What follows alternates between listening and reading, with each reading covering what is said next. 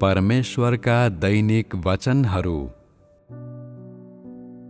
परमेश्वरमाथिको विश्वासको लागि सामान्य आत्मिक जीवनको आवश्यकता हुन्छ जुन परमेश्वरका वचनहरू अनुभव गर्ने र वास्तविकतामा प्रवेश गर्ने आधार हो के तिमीहरूका प्रार्थना गर्ने परमेश्वरको नजिक आउने भजन गाउने प्रशंसा गर्ने ध्यान गर्ने र परमेश्वरका वचनहरूको चिन्तन गर्ने अभ्यासहरू सामान्य आत्मिक जीवन समान छन्?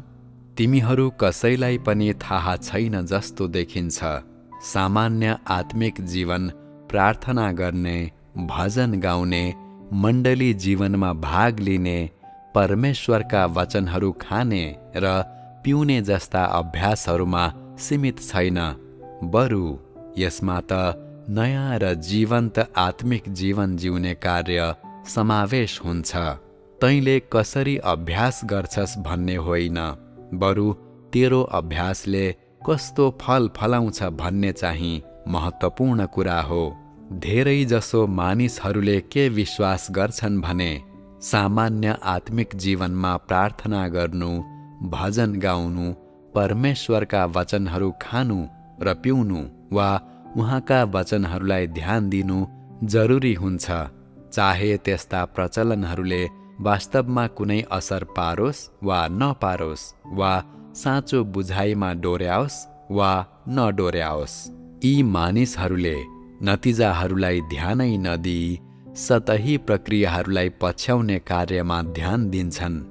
तिनीहरू धार्मिक रीतिथितिमा जिउने मानिसहरू हुन्।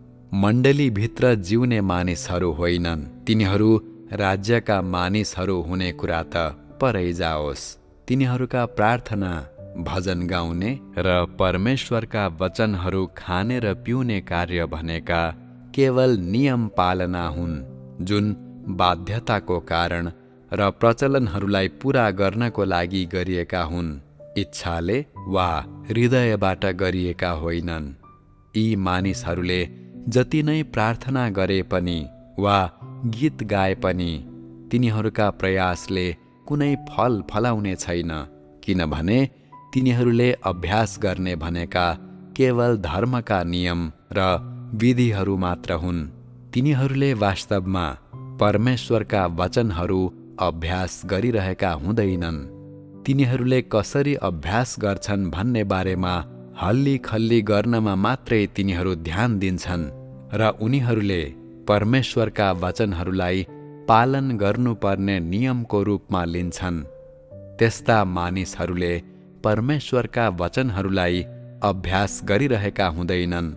तिनीहरूले केवल देहलाई सन्तुष्ट पारिरहेका हुन्छन् र अरू मानिसहरूलाई देखाउनका लागि कार्य गरिरहेका हुन्छन्। यी धार्मिक नियम र विधिहरू सबै मानवबाट आएका हुन्। ती परमेश्वरबाट आएका होइनन्। परमेश्वर न त नियमहरू पालना गर्नुहुन्छ न उहाँ कुनै कानुनको अधीनमा हुनुहुन्छ। बरु उहाँले त व्यावहारिक कार्य पुरा गर्दै दिनहुँ नयाँ काम गर्नुहुन्छ।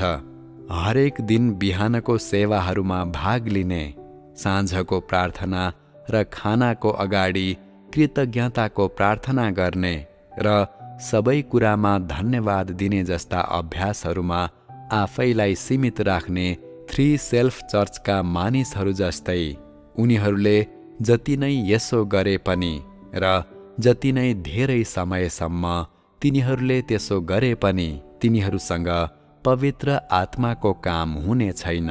जब मानिसहरू नियमहरूमा बाँचिरहेका हुन्छन् र आफ्ना हृदयलाई अभ्यासका विधिहरूमा केन्द्रित गर्छन्।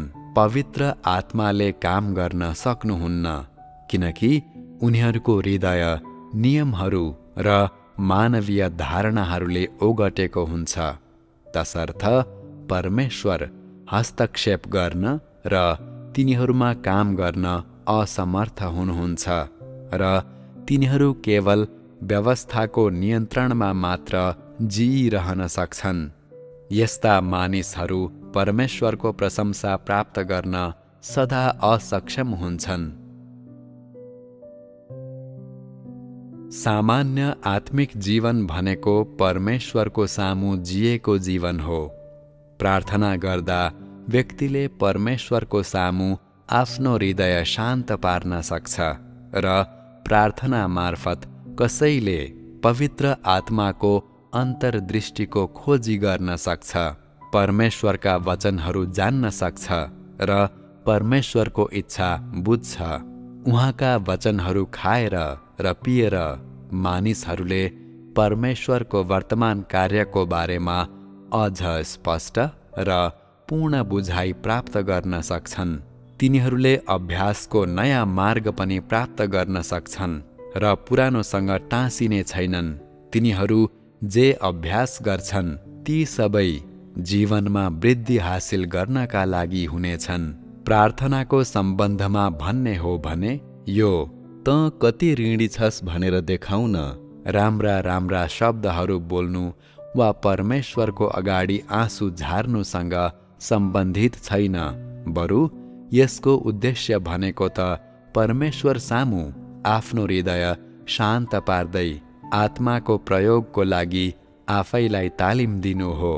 सबै कुरामा परमेश्वरका वचनहरूबाट मार्गदर्शन खोज्नको लागि आफैलाई तालिम दिनु हो ताकि व्यक्तिको हृदयलाई हरेक दिन नयाँ ताजा ज्योतिमा ल्याउन सकियोस् र जसले गर्दा कोही पनि निष्क्रिय वा अल्छी नहोस् र परमेश्वरका वचनहरूलाई अभ्यास गर्ने सही बाटोमा हिँड्न सकोस्।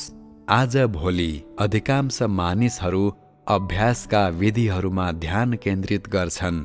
यद्यपि तिनीहरू सत्यलाई पछ्याउन र जीवन वृद्धि हासिल गर्न त्यसो गर्दैनन्। तिनीहरूले यही नै बाटो बिराएका छन्। कतिपय नयाँ प्रकाश प्राप्त गर्न सक्नेहरू पनि छन् तर तिनीहरूको अभ्यास गर्ने विधिहरू परिवर्तन हुँदैनन्। परमेश्वरका आजका वचनहरू ग्रहण गर्ने प्रयासमा तिनीहरूले आफूसँग तिनीहरूका पुराना धार्मिक धारणाहरू लिएर आउँछन्। त्यसैले उनीहरूले जे पाउँछन् त्यो अझै पनि धार्मिक धारणाले रङ्गिएको धर्म सिद्धान्त नै हो। तिनीहरूले आजको प्रकाश प्राप्त गरिरहेका छँदै छैनन्। परिणामस्वरूप तिनीहरूको अभ्यासहरूमा दाग लागेको छ। तिनीहरू नयाँ प्याकेजमा हालिएका उस्तै पुराना अभ्यासहरू हुन्। तिनीहरूले जति राम्रो अभ्यास गरे पनि तिनीहरू ढोङ्गीहरू हुन्। परमेश्वरले मानिसहरूलाई हरेक दिन नयाँ अन्तर्दृष्टि र बुझाइ प्राप्त गरून् भन्ने माग गर्दै र उनीहरू पुरानो जमानाका र एउटै कुरा दोहोऱ्याइरहने किसिमका नबनुन् भन्ने मापदण्ड दिँदै उहाँले तिनीहरूलाई हरेक दिन नयाँ काम गर्न अगुवाई गर्नुहुन्छ। यदि तैँले धेरै वर्षदेखि परमेश्वरमा विश्वास गरेको छस् तर पनि तेरो अभ्यासका विधिहरू बिल्कुल परिवर्तन भएको छैन भने र यदि त अझै बाह्य मामिलाहरूका बारेमा जोसिलो र व्यस्त छस् तर परमेश्वरका वचनहरूको आनन्द लिनको लागि उहाँको सामुन्य ल्याउने शान्त हृदय तँसँग छैन भने तैँले केही पनि प्राप्त गर्ने छैनस्।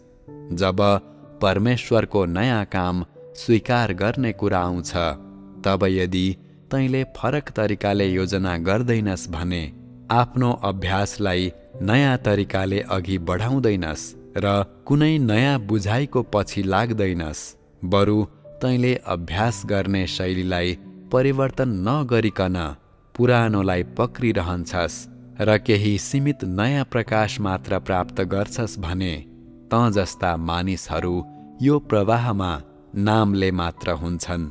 वास्तविकतामा त तिनीहरू पवित्र आत्माको प्रवाहभन्दा बाहिरका धार्मिक फारसीहरू हुन्।